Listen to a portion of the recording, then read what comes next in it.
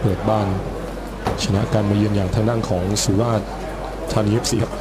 ในแปดนะครับวันนี้มานิดเปิดยาวยาวยังไม่ผ่านทางด้านของกุสตาโวนันภูเก็ตต่างเกมกันใหม่นัทพงศ์เปิดไปก็ลึกไปหน่อยครับ มาที่ด้านของกุสตาโวกลับมา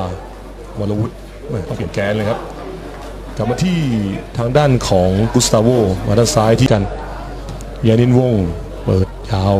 แล้วหมงกลับมาลูกนี้ยิงไปทางด้านของกุสตาโวก็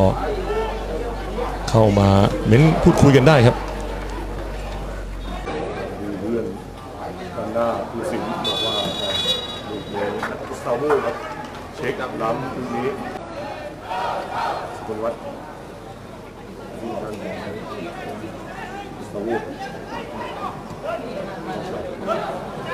สำหรับทางด้านของวรวุฒิกลับมาที่กุสตาโวอัครวิทามสนามเจอแชะนี้ก็ต้องอยู่ที่ทางด้านของโค้ชของแต่ละทีมครับจะวางหมากวางเกมยังไงเป็นทางด้านของโค้ชโชคทวีเองนี่ในครึ่งนี้ สุดท้างด้านของสกุลวัฒน์ปั๊มบอลจุดพลุเลยนี่ไม่ผ่านกุสตาโวครับอาตสิทธิ์ก็เตะกลับมาเลยครับ วัดกันตรงกลาง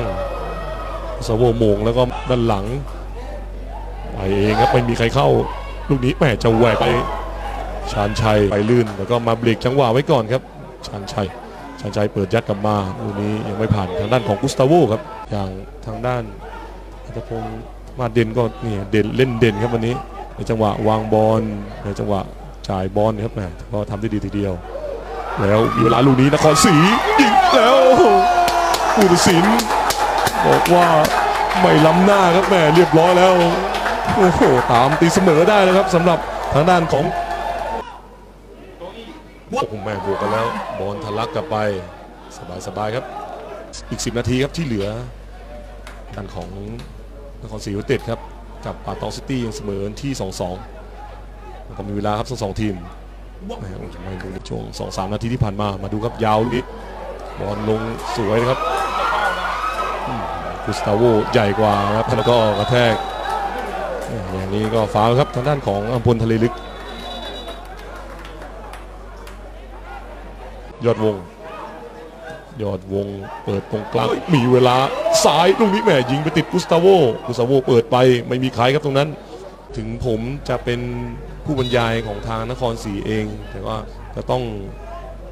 บรรยายให้เป็นกลางเยอะที่สุดครับนิดแล้วโอ้โหมาแล้วครับ นครศรีมาเลยดิมาเลยจี้มาเลยดิมาเลยดิ Potevo!